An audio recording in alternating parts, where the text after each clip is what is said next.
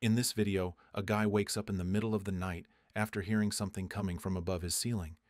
Realizing he is on the top floor and the only thing above him is the attic, he grabs his flashlight and heads up there to check it out.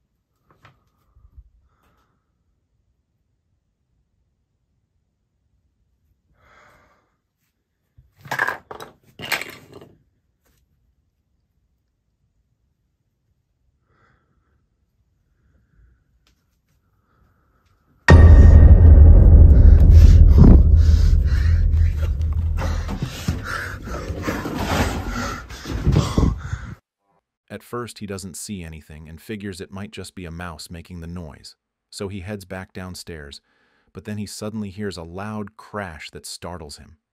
Knowing he has to find out what caused it, he goes back up to the attic, and what he sees up there is terrifying. Then there's this next video of a man who starts recording after hearing scratches and knocks on his window. At first, he ignores it, but eventually the noise gets louder, so he decides to film it. He opens the blinds to check, but there's nothing there.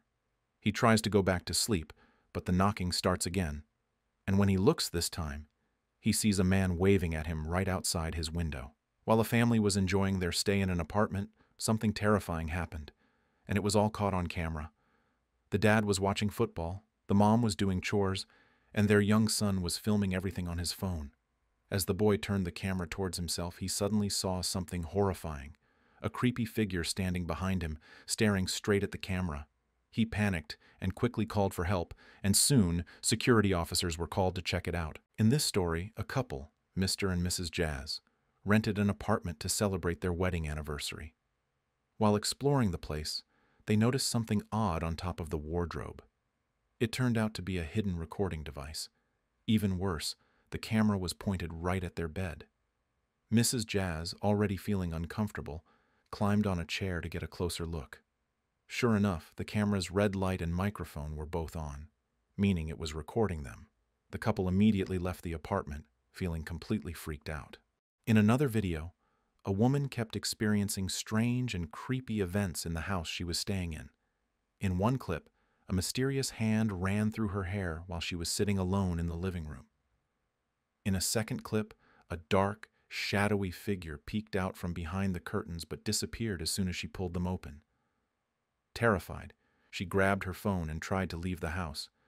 But as she did, more strange things happened. Doors locked by themselves, and the house went dark, leaving her screaming for help. Now, this is the story of Jerry Kopp, and what happened to him on Airbnb was truly extraordinary. He usually rents out his beach house in South Carolina on Airbnb whenever he is not staying there. It's a simple three bedroom, one bathroom house.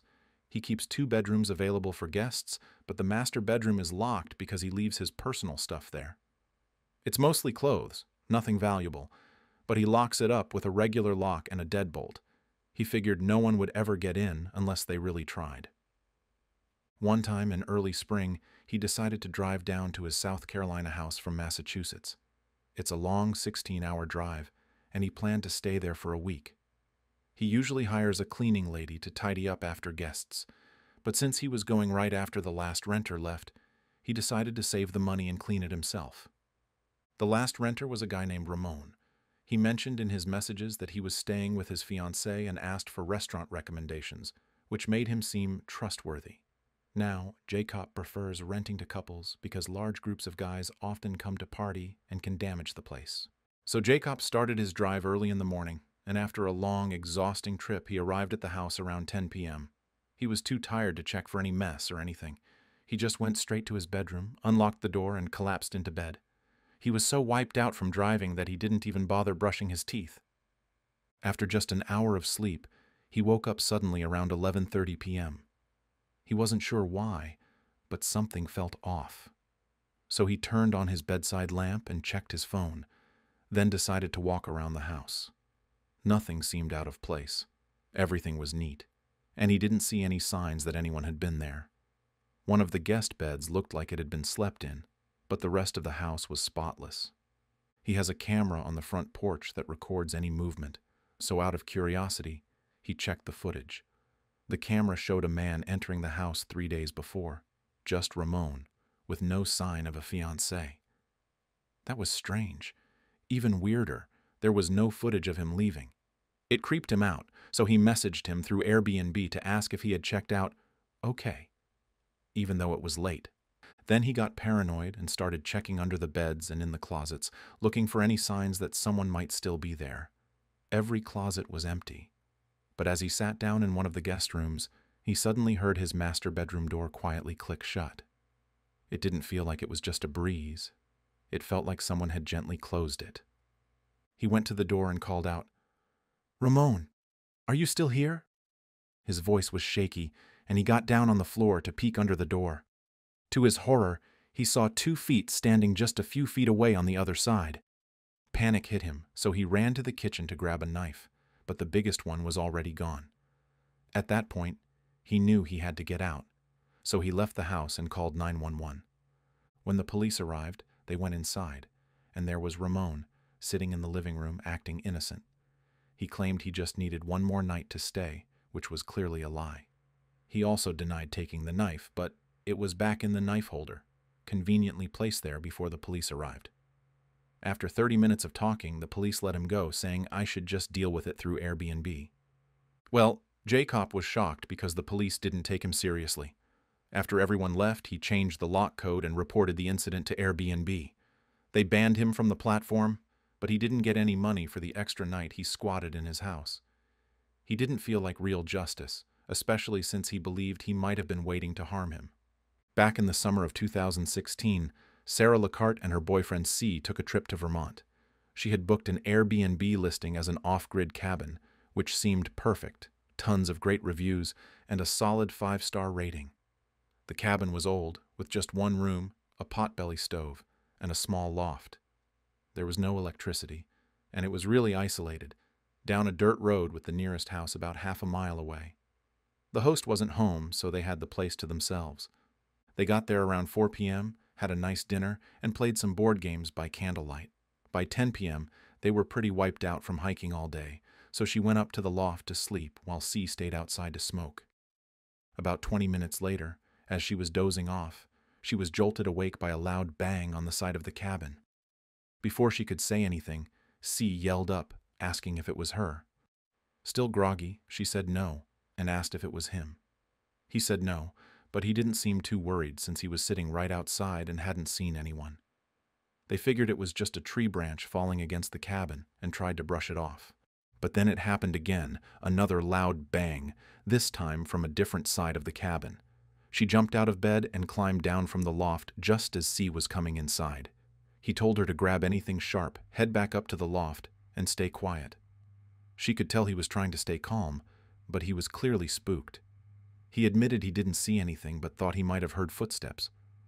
While they were whispering about what to do, they heard a slow, scraping sound along the wall of the cabin, then silence. At that point, she was pretty scared, and they didn't know whether it was a person or an animal. Their car was parked a hundred feet away in the dark, and she was worried that if it was someone messing with them, he might have done something to their car to trap them. C told her to go back up to the loft while he stayed downstairs with a hunting knife and a big stick. She had a couple of steak knives, but not much else for protection. The cabin had huge windows with just screens, so it felt like whoever was outside could see them, but they couldn't see them. After a while, C came up to the loft and pulled up the ladder. He didn't like the idea of someone being able to see him, but not the other way around. They sat there, frozen, listening as the noises continued. There was more banging, scraping, and footsteps. It was way too methodical to be an animal. They kept hearing the crunch of footsteps circling the cabin. At one point, it even sounded like someone was trying to climb the pipe attached to the stove. This went on for hours. They just laid there, terrified, waiting for the worst. She kept thinking the door would burst open any second or the window screens would rip. It felt like they were sitting ducks, just waiting to be attacked. Around 5 a.m., when they started hearing roosters in the distance and the first light of dawn began to creep in, the sounds finally stopped. They barely slept, but when it was light enough, they packed up as fast as they could and got out of there. The car was fine, and they didn't see any signs of damage or footprints around the cabin. When she told the Airbnb host about their night, she brushed it off, saying it was probably a porcupine. But to this day, they still believe it was someone else trying to scare them. In July 2019, Sola Solo Sol and her three best friends planned a vacation to Barcelona. They were all 18 and had just finished their first year of college, super excited for their first big trip together. They had been talking about it for months, dreaming of exploring the city, visiting famous sites, and enjoying the local food. Even though they had plenty of time, they waited until the last minute to book their flights and Airbnb. They started looking for a place in May, which wasn't the best timing. They spent days scrolling through websites, but most places were either too expensive or too far from the city center. Finally, one of their friends found a nice studio apartment near Las Ramblas, a busy tourist area full of shops and restaurants. The studio was on a quieter side street, a bit run down but safe enough. The apartment was small but cozy, and they had three keys one for the front door, one for the building's second floor door, and one for their apartment. The place felt secure. The balcony didn't have a handle on the outside, so they figured no one could get in from there. Their routine was simple. They went clubbing every night, got home around 4 a.m., slept until late morning, and spent their days exploring the city. The first three nights were great. They even met up with some guy friends they knew from Barcelona. But the fourth night turned creepy. They got home around 4 a.m. as usual, chatted a bit, and then crashed around 5 a.m. At about 7:30 a.m., one friend who was sleeping in the living room with her suddenly woke up. She felt something touching her ankle and saw a shadowy figure crouching at the end of their bed, reaching under it.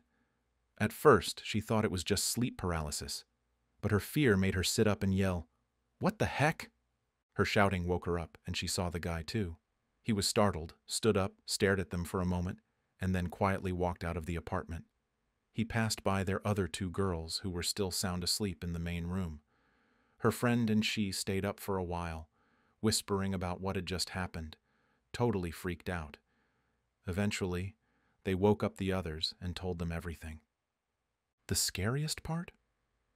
They had left the front door unlocked that night, but there wasn't even a handle on the outside, so how did he get in?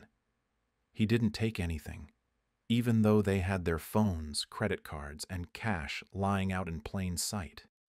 They didn't call the police because they thought they'd blame them for not locking the door, and they didn't tell the landlord either. But they knocked on the door of their neighbors, the loud Italian guys they met earlier, to ask if they knew anything, but they never answered. Now, if you love spooky stuff, don't worry. We've got more for you. Check out my previous creepy video, Moments After Cops Witnessed Paranormal Trail Camp Activity, that pops up on your screen to keep the chills going.